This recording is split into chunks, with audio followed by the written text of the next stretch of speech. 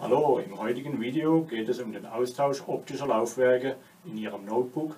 Mein Name ist Kurt Wohlschläger, Mitarbeiter bei IPC Computer. Ich möchte Ihnen unseren DVD-Blu-ray-Brenner vorstellen, mit dem Sie Ihr optisches Laufwerk austauschen oder ersetzen können. Sie können damit alle optischen Laufwerke CD oder DVD mit SATA-Anschluss ersetzen. Die Laufwerke sind Plug-and-Play fähig, werden also vom Betriebssystem automatisch erkannt und eingebunden. Es werden keine extra Treiber benötigt. Der Unterschied zum normalen Laufwerk besteht darin, dass ein Blu-ray-Laufwerk zwei Laser hat, einen für Blu-ray und einen für die normale DVD.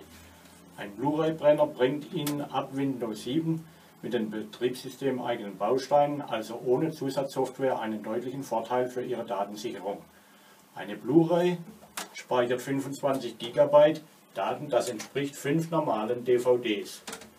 Um Filme von einer Blu-ray abspielen zu können, benötigen Sie geeignete Abspielsoftware, zum Beispiel von Cyberlink oder Nero. Mit dem kostenlosen Tool BD und 3D Advisor von Cyberlink, einen Link haben wir in der Videobeschreibung, können Sie vorab testen, ob Ihr Notebook für den Betrieb von Blu-rays geeignet ist bzw. genug Leistung hat. Bei der Bestellung sollten Sie darauf achten, dass die Laufwerke mit einer universalen Blende geliefert werden, die Sie gegen die in Ihrem Notebook verwendete austauschen. Diese Schritte erklärt einer unserer Techniker in einem separaten Video, das wir in der Videobeschreibung verlinken werden.